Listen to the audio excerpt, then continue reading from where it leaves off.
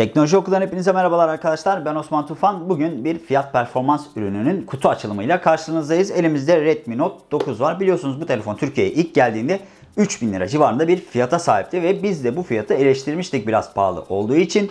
Nitekim şu anda bu telefonun ülkemizdeki satış fiyatı 2500 liranın bile altına düşmüş durumda. Yani internete yazdığınızda Xiaomi Türkiye garantili böyle 2455 liralara kadar bulabiliyorsunuz. Dolayısıyla şimdi tam kıvamına gelmiş bir model yani 2500 liraya alınır mı derseniz evet alınabilecek modellerden biri olmuş. Lakin 3000 lira buna biraz fazlaydı. Dilerseniz şimdi kutumuzu açalım. Kutumuzu açmadan önce teste gelen modelin RAM ve dahili depolama alanına bakalım arkadaşlar. 3 GB RAM ve 64 GB dahili depolama alanı mevcut bu telefonda dedikten sonra kutumuzu açalım. Şöyle yanlardan plastiğimizi bir keselim. Sonrasında kutumuzu open. Evet açıyoruz. Şunlar zaten klasik belgelerimiz arkadaşlar. Şöyle telefonu açalım mı Oğuz? Bunu da aç, açalım. Aç, aç, aç, aç, açtık. Evet. Büyük mü hissediyorsunuz? Bakalım ne çıkacak. Redmi Note 9. Evet arkadaşlar ön önce şunu bir açalım dilerseniz. Burada bizim silikon kılıfımız geliyor normalde. Bakalım bunda da geliyor mu? Tabii ki geliyor. Şurada bir silikon kılıfımız var. Eğer kılıfa para vermek istemiyorsanız iyi bir seçenek olabilir. Tabii artık günümüzde çok silikon kılıf kullananlar kalmadı. Böyle renkli renkli kılıflarımız mevcut. Evet telefonumuzun etiketinin üzerinde zaten önemli özelliklerine yer verilmiş. 48 megapiksellik yapay zeka destekli bir kamera bulunuyor. 5020 miliamperlik bataryamız var. 6.53 inçlik IPS LCD bir panel ve MediaTek tarafından geliştirilen Helio G85 Yonga setimiz bulunuyor.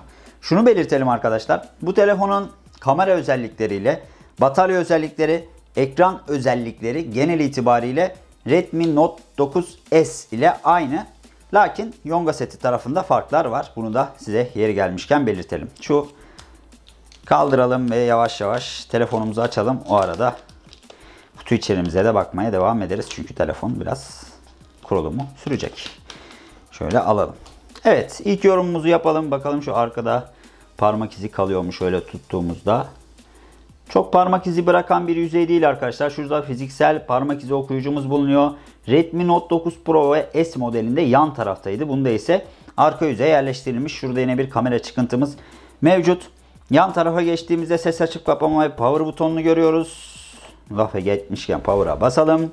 Alt tarafta Type-C girişimiz ve 3.5 milimlik kulaklık girişimiz bulunuyor. Burada da sim kart yuvamız mevcut. Bu arada ekranda koruyucu mevcut. Bütün Redmi modellerinde var zaten bu. Onu da yeri gelmişken belirteyim. Yani telefon kutudan çıktığında ekranda bir ekran koruyucu ile geliyor. Fakat bu çok ince arkadaşlar. Eğer ben kırılmaz cam taktırmak istiyorum diyorsanız yine taktırabilirsiniz. Xiaomi bu modelinde de delikli ekran kullanmış. Fakat delikli ekranı diğer modellerindeki gibi ortada değil, sol tarafta konumlandırmış. Şimdi bu telefon açılı dursun. Biz kutu içerimize bakmaya devam edelim. Evet şunu çıkartalım, çıkartalım. Şunları da şöyle alalım buradan. Evet şurada bataryamız var. 18 wattlık hızlı şarj bataryamız ve şurada da Type-C kablomuz bulunuyor. Boyuna bakalım dilerseniz. Genelde klasik oluyor boylar zaten. Kablo kalınlığıyla da alakalı bir durum aslında. Evet. Diğer 9S ve Note 9 Pro'daki kadar uzun ya da kısa bir kablo. bu kablonun uzunluğu size yeter yetmez artık bu biraz kullanım alanınıza göre değişebilir arkadaşlar. Dediğim gibi hani masaya taktığınız zaman aşağıya gelmiyor. Yani fiş aşağıdaysa eğer prize taktığınız zaman masanıza ulaşmayabilir. O da biraz sıkıntılı olabilir. Evet bakalım şu bataryamız dediğimiz gibi 18 Watt hızlı şarjı destekliyor ki bu önemli. E, biliyorsunuz çoğu modelde hızlı şarj bataryası cihazın içinden çıkmıyor. Dolayısıyla burada hızlı şarj desteğiyle gelmesi önemli. Kulaklık var mı diye bakıyorum. Tabii ki sizin de tahmin ettiğiniz üzere kulaklık çıkmadı. Telefonlar ucuz olduğu için kulaklığın çıkmamasına çok bir şey demiyoruz.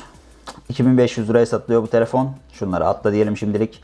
O yüzden kulaklığın çıkmaması çok sorun edilecek bir durum değil. Ha gerçi buna koyacakları kulaklık 2 dolarlık bir kulaklık diyebilirsiniz arkadaşlar. Lakin şöyle düşünün. İşte bundan 5 milyon tane sattıkları zaman 2 dolardan 10 milyon dolar yapacak. Dolayısıyla bu da iyi para günümüzde.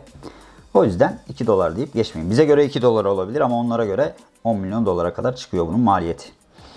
Bu adımı da atlayalım. Bunları da atlayalım. Bir tema seçelim. Sınırsız temayı seçelim. Uygulansın. Tema uygulandı. Hadi şimdi burada kurulumu uygulama ekleniyor. Bu biraz zaman alır. O arada biz tekrardan telefonumuzun tasarımına bakalım. Arka yüzey e, Redmi Note 9 Pro'da daha çok hoşuma gitmişti benim. Ha, bunda da kötü değil ama. Bu tabi kötü diye söylemiyorum. Zevkler ve renkler sonuçta tartışılmaz. Şu parmak izi okuyucusunun yalnız yan tarafta konumlandırılması daha iyi olabilirdi. Herhalde bu da maliyet açısından arkadaşlar. Diğer telefonlarda çünkü şu taraftaydı sanıyorum. Bunda ise arka tarafa şuraya yerleştirilmiş. Dörtlü ana kameranın performansını önümüzdeki günlerde göreceğiz. Bu arada şunu dipnot olarak belirteyim sizlere. Önümüzdeki günlerde şu anda elimize 3 tane Redmi modeli geldi. Redmi 9, 9 Pro ve 9S geldi elimize. Üçüyle de ilgili yeni videolar çekeceğiz, yeni içerikler hazırlayacağız. Kamera karşılaştırmaları yapacağız, performans karşılaştırmaları yapacağız. Ayrıca bu telefonla düşük ışıkta, yüksek ışıkta çektiğimiz, ters ışıkta çektiğimiz fotoğrafları teknolojioku.com üzerinden sizlerle paylaşacağız. Yani burada telefonun kamera performansını, fotoğraf performansını da görmüş olacaksınız arkadaşlar. Detaylı incelemeleri zaten önümüzdeki günlerde gelecek. Eğer bu telefonu herhangi bir modelle kamera ya da performans açısından karşılaştırmamızı istiyorsanız aşağıda bize yorum olarak belirtebilirsiniz. Sizin yorumlarınızı ciddiye alıyoruz çünkü eğer istediğiniz telefon ofisimizde varsa, mevcutsa şu anda biz de bu telefonla işte Redmi 9, Redmi 9 Pro ya da Redmi 9S karşılaştırmasını yapabiliriz. Bu arada telefonumuz açıldı mı? Evet açıldı. MIUI 11 ile geldiğini söyledik zaten. Arayüzümüz. Kameraya bir girelim bakalım. Muhtemelen diğer telefonlarla, diğer Redmi modelleriyle aynı arayüze sahip bir kamera. Evet gördüğünüz gibi 48. Eğer bu kamera 64 olsaydı 64 yazacaktı burada. 24 olsaydı 24 yazacaktı. Portre gece, panorama pro modları mevcut. Onun haricinde yavaş çekim modu var, kısa video var, ağır çekim, yavaş çekim dediğim. Bunları arkadaşlar deneyimleyeceğiz inceleme videomuzda ve sizlere göstereceğiz nasıl çalıştığını. Oyunlara bakalım. Bunlar yüklü geliyor sanırım. Oynayabiliyorsunuz. Yani açar açmaz telefonunuzu Facebook, VPS Office falan bunlar var. Araçlar, Mi Community var burada. Mi Video var. Başka da öyle Google'ın çeşitli uygulamaları. Mesela bu bir Huawei modeli olsaydı bunlar olmayacaktı. Çünkü Google Huawei'de yok. Bunu da dipnot olarak belirtmiş olalım.